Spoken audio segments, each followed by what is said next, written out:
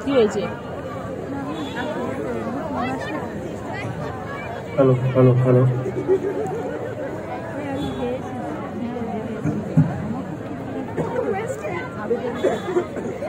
আমরা একবার যাব খেয়ে আসব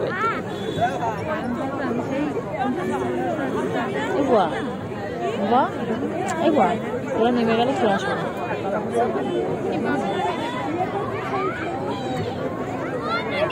নমস্কার। অনুষ্ঠানে আসি। আজকে আমাদের যে শ্রুতি নাটক হ্যাঁ, যিনি লিখেছেন চন্দন সিনহা রায় কবিতা যে যিনি কবি তিনি এই অনুষ্ঠানটি করেছেন বা শ্রুতি নাটকটি লিখেছেন দাম্পত্য জীবনের ভালোবাসা এবং কলহ নিয়ে। অর্থাৎ দাম্পত্য জীবনের প্রেম, ভালোবাসার সাথে সাথে একেবারেই যে সমস্যা হয় না তা নয়, সুতরাং সমস্যা তো থাকবেই। তা সত্ত্বেও সমস্ত কিছুকে ওভারকাম করে প্রেম, ভালোবাসাই যে জয়লাভ করে, সেটাই এই নাটকের মধ্য দিয়ে কবি বলতে চেয়েছেন। ছোট্ট দশ মিনিটের একটি শ্রুতি নাটক। আমি, আমার সঙ্গে আছে আমার সহপাঠক, আপনাদের ঘরের ছেলে অঙ্কন আচার্য। আমরা এই নাটকটি পাঠ করে আপনাদের শোনাচ্ছি।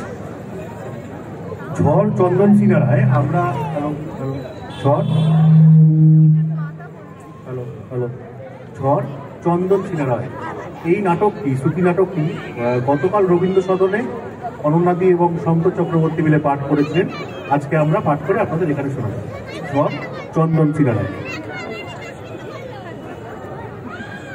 কোর্ট থেকে বেরিয়ে দাঁড়িয়ে আছে? কোর্ট থেকে বেরিয়ে দাঁড়িয়ে আছো? কেউ আসবে নাকি? হ্যাঁ। আমায় নিয়ে যাওয়ার জন্য তো শয়ে শয়ে লোক অপেক্ষা করে আছে তাই না? তাহলে দাঁড়িয়ে কেন? এতদিনের আকাঙ্ক্ষিত রায় তো পেয়েই গেছো। আকাঙ্ক্ষিতই বটে। আমার একার ইচ্ছাতেই বুঝি সব হলো। তাহলে মিউচুয়াল কথাটা এলো কি করে? এখন কোথায় যাবে? তোমার মায়ের বাড়িতে? না তোমার তালতলার নতুন ফ্ল্যাটে? এতদিনেও আমাকে চিনতে পারলেন না। কারোর উপর নির্ভর করে থাকব এটা ভাবলে কি করে? ফ্ল্যাটেই যাব? আমাদের জিনিসপত্রের অর্ধেকটা তো ওখানেই। শুধু খাবার দাবার ছাড়া। কদিন হোম ডেলিভারি নিয়ে নেব? তুমি রাতে কোথায় থাকবে? কি আর করব? ওই হোম ডেলিভারি। রান্নার মাসিকে বলো এখন থেকে দুবেলাই যাতে এসে রান্না করে দিয়ে যায়। না হলে তো রাতে গরম রুটিতেও জুটবে না। আচ্ছা তোমার জিনিসপত্রগুলো কবে নিতে আসবে? জিনিসপত্র? ওসব আর প্রয়োজন নেই আমার। ছেলে বাইরে থেকে এলে ওকে বিয়ে দিয়ে দিও। আর ওর বউকে বলো সব জিনিস যা যা লাগবে নিয়ে নিতে। বাকিটা না হয় দান করে দিও। তোমার জিনিস তুমি কাকে দেবে বা দান করবে সেটা তুমি বুঝবে। আমি কেন ওর মধ্যে ঢুকতে যাব? তোমারও তো ফ্ল্যাটে অনেক কিছু আছে। কবে নিতে আসবে জানিও। একজন পুরুষ মানুষের যা যা দরকার। আমার বাড়িতে তার থেকে কি কিছু কম আছে? শুধু কর্তৃহীন কর্তা। হুম, এখন আর আপনাদের বাড়ি নয় এটা এখন তোমার বাড়ি। আর কর্তৃহীন কর্তাই বা থাকবে কেন? আবার বিয়ে করুন একটা লাড্ডুই হজম হলো না আবার তিল্লিকা লাড্ডু তাও আবার এই বয়সে। শোনো তোমার প্রেশারের ওষুধটা মাত্র তিনটে আছে। পারলে বাড়ি ফেরার পথে আজই কিনে রেখো। আমি না দিলে তো ওষুধ খেতে ভুলে যেতে। এখন থেকে টেবিলের ওপর ঘড়ি আর বাক্সের পাশেই ওষুধটা রেখো। দেখলে অন্তত মনে পড়ে। আর অফিস বেরোবার আগে রোজ মনে করে এই ওই যে একটা ট্যাক্সি যাচ্ছে। Taxi taxi. যা চলে গেল। এত তারা কোথাও যাবে? না না না তোমার জন্য। গাড়িতে তুলে দিয়ে যাবে নাকি? না পৌঁছে দিয়ে যাব। একা একা একটা ফ্ল্যাটে থাকতে ভয় করবে না তোমার? ভয় করলে পাহারাদার পাঠাবে নাকি? তোমার খোঁচা মারার শখটা না আর যাবে না। আজ একটু সহ্য করো কাল থেকে তোমায় শুনতে হবে। এখন তো স্বাধীন দেশের একেবারে স্বাধীন নাগরিক। ওই যে আরেকটা ট্যাক্সি ট্যাক্সি ট্যাক্সি যাবেন? হ্যাঁ কোথায় যাবেন? প্রিন্সেপ ঘাট চলুন। হ্যাঁ যাব। চলো ওঠো। ওখানে কেন? আজ একটু চলো আর যদি গঙ্গায় স্নান করবে বুঝি? তুমি তো করবে তাই নিয়ে যাচ্ছি। অন্যদিকে তাকিয়ে কেন গো? আর কি আমার মুখটা দেখতেও ইচ্ছা করছে না তোমার? আমার মুখ দেখতে আর তোমার বোধহয় ভালো লাগবে না তাই। মনে আছে সেই সাতাশ বছর আগে একদিন অফিস ফেরত এরকম ভাবেই ট্যাক্সি করে নিয়ে তোমাকে আউটগ্রাম ঘাটে গেছিলাম? এসব ভেবে আর কি লাভ এখন? দুটো তো একেবারেই আলাদা অনুভূতি। আমার কিন্তু একই রকম লাগছে। সে তো লাগবেই। সেদিন এক খুশিতে ছিলে আর আজ আর এক খুশিতে হৃদয়টা যে একেবারে পাল্টে গেছে। ওটা রক্ত মাংসে নেই পাষাণ পাষাণ হয়ে গেছে। জানো তো কিছু কিছু সুখ স্মৃতি যেন ভোলা যায় না। যখনই মনে পড়ে তখনই কিছু সময়ের জন্য হলেও মনটা ভরি হয় এই শোনো না ব্যাংকের লকারের চাবিটা নিয়েছো? না ওটা পুরনো আলমারির ওপরে রাখা আছে ডান দিকের কোনায়। ওটা তো তোমার জিনিস। দিয়ে দেখো। আগেই তো বললাম ওসব আর দরকার নেই আমার। ছেলের বউকে ওসব গয়না দিয়ে সাজিয়ে দিও। আমিও তো বললাম। তোমার গয়না আমি অন্য কাউকে কেন দেবো? তোমার ইচ্ছে হলে তুমি দেবে। দাদা ব্যালেন্সটা নিয়ে যান। ব্যালেন্স দিতে হবে না ওটা রেখে দিই ব্যালেন্স দিয়ে মিষ্টি খাবেন আজ ওনার একটা বিশেষ কাজ সিদ্ধি হয়েছে তাই। এই চলো তো এইদিকে। লোকের সামনে এত ছোট করো না। আরে বাবা বোঝেন ভেবেছে অন্য কিছু? আরে না না ট্যাক্সি চালাতে চালাতে কান খাড়া করে আমাদের সব কথা শুনেছে। আলাদাও থাকবে আবার কেউ জানলে প্রেস্টিজও যাবে। বাহ! আলাদা কি আমি একাই থাকতে চেয়েছিলাম? তুমি চাওনি? এই আসো আসো এখানটা জায়গাটা ফাঁকা। ওখানে চলো একটু বসি। শুরু আর শেষ এই এক জায়গাতে। না না না তোমার মনে নেই। শুরুটা আউটকাম ঘাটে হয়েছিল। এখানে নয়। সেই গঙ্গার পাড়ি তো বলো। আচ্ছা তোমার ডাক্তার দেখাবার ডেট কিন্তু আগামী শুক্রবার। ডাক্তার আর দেখাবো মানে? রাগে?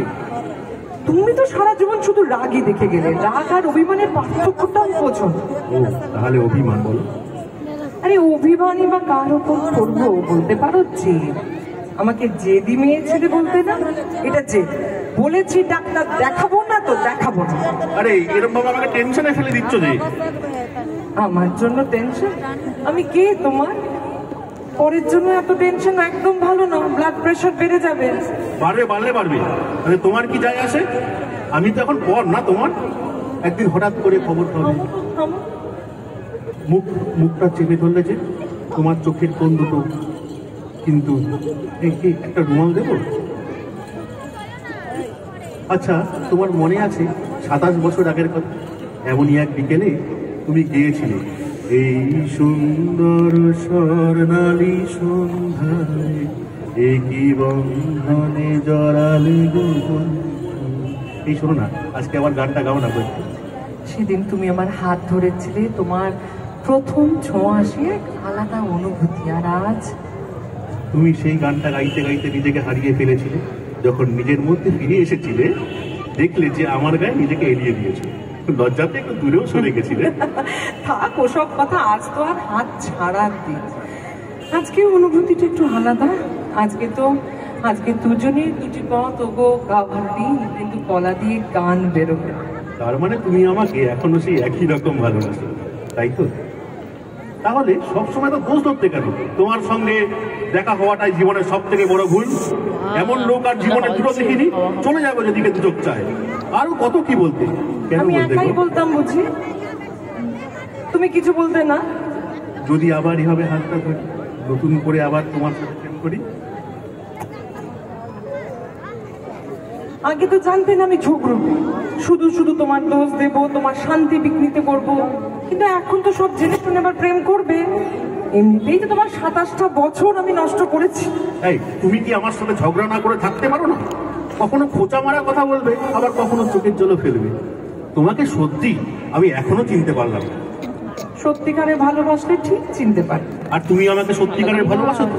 তাই আবার অনিচ্ছাকৃত ভুলগুলোকে দোষ বলে চালিয়ে দিলে? সারা জীবন এখনও হয়নি। প্রথম সাতাশটা বছর শান্তিতেই ছিল। পরের সাতাশ বছর আমি অশান্তি ছিলাম। শেষ সাতাশ বছর কোনো শান্তিকে বাড়ি নিয়ে এসো। সুখে কাটাও বাকি জীবনটা। এই শোনো না আর যদি অশান্তিকে আবার সঙ্গী করি? মানে? আসলে কি জানো? এই যে ঝগড়া দুজনে দুজনের দোষ ধরা ভুল ধরা এগুলো মনে হয় আমাদের জীবনে নিত্য প্রয়োজনীয় জিনিস করে গায়ে দিই, খুব ঠান্ডা লাগছে। এইসব না থাকলে হয়তো আর সময়ই কাটবে না। মনটা অস্থির হয়ে উঠবে। ব্লাড প্রেশারটাও বেড়ে যাবে। রাতেও হয়তো আর ঘুম আসবে না। তার থেকে চলো আবার একসাথে বাকি জীবনটা অশান্তিকে সঙ্গী করেই কাটিয়ে দিই। এদিকে অশান্তি বলছো? আবার? তুমি একা অশান্তি নাও আমরা দুজনে মিলে অশান্তি। তাহলে তাহলে এত নাটকের আইন আদালতের কি দরকার ছিল শুনি?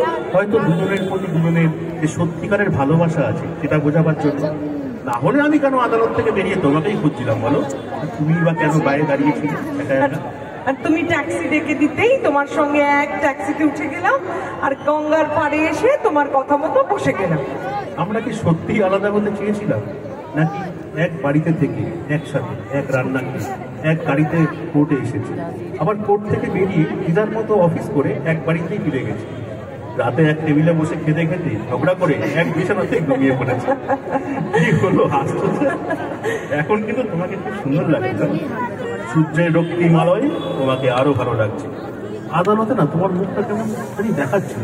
থাক থাক, আর প্রেম দেখাতে হবে না। বুড়ো বয়সে এবার নতুন করে প্রেম জেগেছে।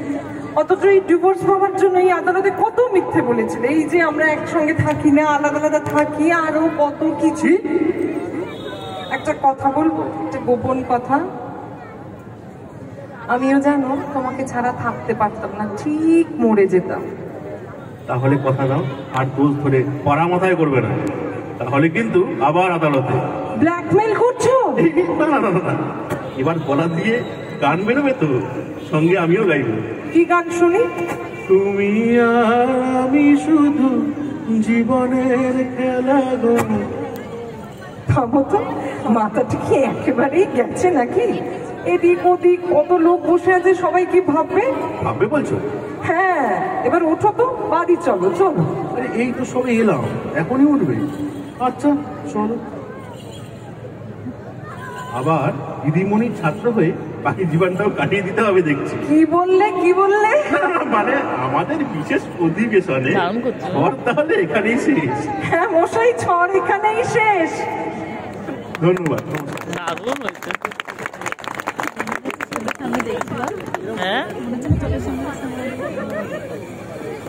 অসংখ্য ধন্যবাদ অনন্যাদিকে। আর লাস্টবারের জন্য আবারও বলব, আমাদের মধ্যে এসে উপস্থিত হয়েছিলেন অনন্যাদি। অনন্যাদিকে সঙ্গের তরফ থেকে আমাদের তরফ থেকে অসংখ্য অসংখ্য ধন্যবাদ। আশা করব আগামী দিনে আবার পাবো অনন্যাদিকে। একটা জোরে হাত তুলি অনন্যাদির জন্য।